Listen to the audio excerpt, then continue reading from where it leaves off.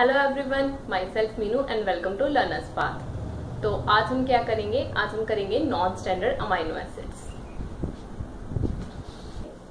non standard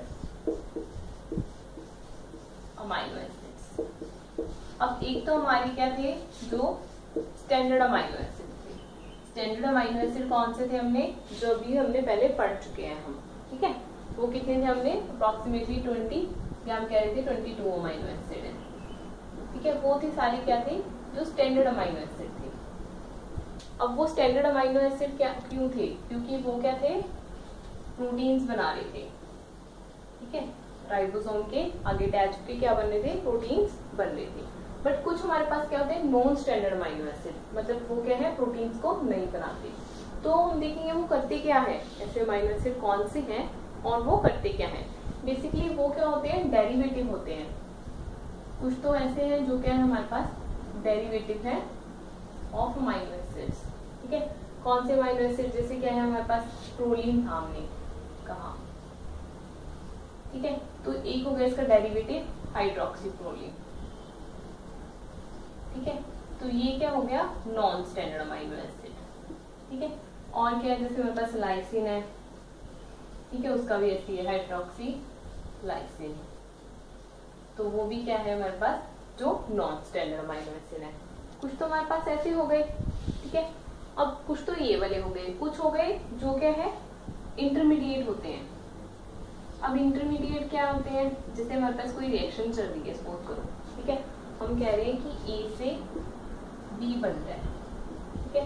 हो सकता है कि बीच में कोई इंटरमीडिएट भी बनता हो एक्स बन रहा हो बीच में, उसे हम कहते हैं ना इंटरमीडिएट ठीक है? तो कुछ एक्ट एज एक्ट करते हैं एज अ इंटरमीडिएट ठीक है? उन्हें हम कहते हैं नॉन स्टैंडर्ड अमाइनो एसिड अब हम देखेंगे जैसे क्या है हमारे पास? ऑर्थनिन है, ठीक है? या फिर सिट्रोलिन है, जो क्या है? इंटरमीडिएट का काम करते हैं. सिंथेसिस ऑफ़ आर्जिनिन जब क्या है? आर्जिनिन की बायोसिंथेसिस होती है. बायोसिंथेसिस मतलब क्या होता है? जब कंपाउंड कुछ बन रहा है ठीक है? उसे हम कहते हैं सिंथेसिस तो आर्जिनिन की सिंथेसिस के टाइम ऑर्थनिन है जो, और सिट्रोलिन है, वो क्या है? इंटरमीडिएट है. और इन्हें हम कहते हैं जो क्या है? ये क्या है? नॉन स्टैंडर्ड अमाइनो एसिड ठीक है? आर्जिनिन कौन सा है सबको पता है? जिसे हम नोट करते हैं आर से अमाइनो एसिड जो हमने पढ़ा था पहले. ठीक है? तो कुछ तो हो गए जो हमारे डेरिवेटिव थे. जो जैसे प्रोलीन लाइसिन के डेरिवेटिव कौन से? हाइड्रोक्सी प्रोलीन हाइड्रोक्सी लाइसिन है. ठीक है? कुछ हो गए जो इंटरमीडिएट का काम करते हैं। अब एक है एजासिरीन एजासिरीन क्या है? ये भी क्या है? एक नॉन स्टैंडर्ड अमाइनो एसिड है। ये क्या है? एक एंटीबायोटिक की तरह काम करता है। ठीक है? अब जैसे हमारे पास प्रोलीन थे और लाइसिन था, वैसे कुछ और भी है। उनके नाम भी देख लेते हैं हम, याद रखने के लिए। ठीक है? ये है एन एसिटाइल सीरीन ठीक है? एन फॉर माइल मिथ्योनिन है जैसे मेरे पास था ना सीरीन और मिक्सिन तो उनके आगे एन जो हमारा होता है, ठीक है अमोनिया ग्रुप उसके आगे अटैचमेंट होगी ये साथ साथ, ठीक है, या फिर है अल्फ़ा कार्बोक्सी ग्लूटामेट ठीक है, ये सारा। अब हमारा एक जो स्टैंडर्ड अमाइनो एसिड था, ठीक है, जो हमारा स्टैंडर्ड अमाइनो एसिड है, जो हमने कहा था ट्वेंटी फ़र्स्ट अमाइनो एसिड है उसका हमने स्ट्रक्चर नहीं देखा था, वो भी देख लेते हैं। उसका नेम क्या है? सिलीनियम सिस्टीन ठीक है? सिस्टीन का स्ट्रक्चर सबको पता होगा। ठीक है? अगर नहीं पता है तो हम देख लेते हैं। एक कार्बन अल्फ़ा कार्बन है ये। ठीक है? यहाँ पे अमोनिया ग्रुप अटैच है। यहाँ पे कार्बोक्सिल ग्रुप अटैच है। यहाँ पे हमारी हाइड्रोजन है। और साथ में अटैचमेंट किसकी है? इसकी और ये ये सबको पता है किसका स्ट्रक्चर है ये? सिस्टीन का। ठीक है? अब सिस्टीन में जब क्या है? सल्फ़र की जगह सल्फ़र को रिप्लेस किया किसने? सिलीनियम ने। मतलब एस की जगह अब आएगा एस ई ठीक है? तो बन गया हमारा वो सिलीनियम सिस्टीन ठीक है क्लियर है। स्ट्रक्चर इजी है ना याद करना। तो अब ये हमारे नॉन स्टैंडर्ड अमाइनो एसिड तो हो गए खत्म। अब हम करेंगे नीनहाइड्रिन टेस्ट जो टेस्ट यूज़ किया जाता है किसके लिए? अमाइनो एसिड की डिटेक्शन के लिए। अब हम करेंगे नीनहाइड्रिन टेस्ट जो टेस्ट किसके लिए यूज़ किया जाता है? डिटेक्ट करने के लिए। डिटेक्शन ऑफ़ अमाइनो एसिड्स या फिर जो प्रोटीन्स है, बनते उसके लिए। ठीक है? क्लियर है? अब ये बेसिकली है क्या? ये है triketohydrindene hydrate ठीक है? ये इसका फॉर्मूला है। मतलब ये इसका मतलब नेम है। हम इसका स्ट्रक्चर देख लेते हैं क्या है। हमारे पास क्या है? एक रिंग है। ठीक है? जो बनी हुई है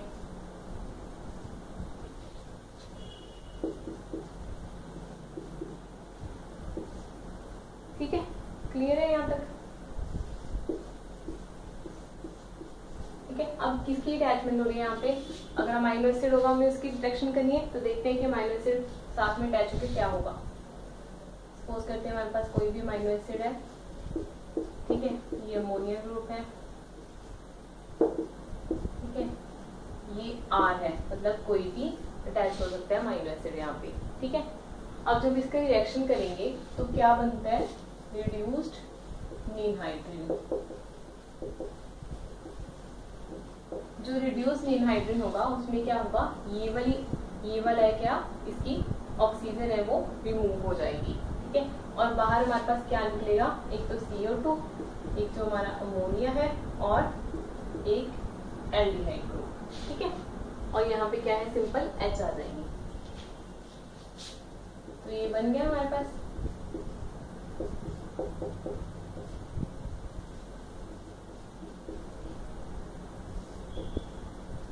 यहाँ पे ओ एच ऊपर एच आ गई बस ये फ़र्क है यहाँ से यहाँ। तो ये बन गया हमारा रिड्यूस हो गया नीन ठीक है?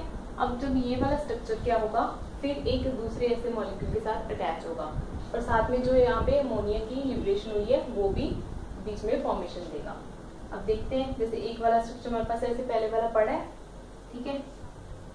एक हमारे पास जो रिड्यूस वाला आ गया। हमें पता चल गया ना किसने क्या कर दिया? रिड्यूस कर देगा। अगर वहाँ पे क्या होगा अमाइनो एसिड प्रेजेंट होगा। ठीक है? तो एक हमारे पास ये आ गया। प्लस किसकी अटैचमेंट हो जाएगी अमोनिया की। एक बिल्कुल ऐसा ही होगा, हमने कहा था। ठीक है? तो हमारे पास ये आ गया।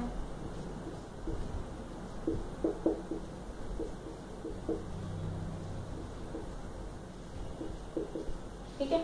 क्लियर अब तक यहाँ पे? अब यहाँ पे क्या होगा? कैसे हमारे पास यहाँ पे क्या है? वाटर रिमूव हो जाएँगे। ओ एच एक यहाँ से, एक एच यहाँ से। ठीक है? ओ एच एक यहाँ से, एक यहाँ से। ठीक है? तो ऐसे इसकी रिमूव हो जाएँगे। तो बनेगा कॉम्प्लेक्स हमारे पास कौन सा? ठीक है? ये वाला बन गया। यहाँ पे हमारी कार बनी थी। क्लियर है यहाँ तक? ठीक है? यहाँ पे हमारा नाइट्रोजन अटैच हो जाएगा। यहाँ पे सिंपली जैसे हमारी कार बनी थी C double one O C double one O ठीक है? और ये एक स्ट्रक्चर बन गया। क्लियर ठीक है? ये हमारे पास इसकी फॉर्मेशन हो जाएगी। और इसे हम कहते हैं ह्यूमन पर्पल ठीक है? ये क्या करेगा? पर्पल कलर प्रोड्यूस करेगा। और हमारे पास पहले क्या था? ये ड्राई कीटोहाइड्रिन हीट्रेट था। अब ये बन जाएगा हमारे पास डाई कीटो हाइड्रीन तो यहाँ इससे जो कॉम्प्लेक्स बनता है, इसे हम कहते हैं डाई कीटोहाइड्रीन या फिर हम कैसे इससे ह्यूमन पर्पल बट इसकी कलर जो फॉर्मेशन हुआ है, वो कौन सा हुआ है? ब्लू हुआ है। हमारे पास, हमने कहा था कि एक ऐसा कौन सा माइनो एसिड है जो कलर प्रोड्यूस नहीं करेगा। सोचो एक्सेप्शन कौन है? तो एक्सेप्शन यहाँ पे है प्रोलीन क्यों?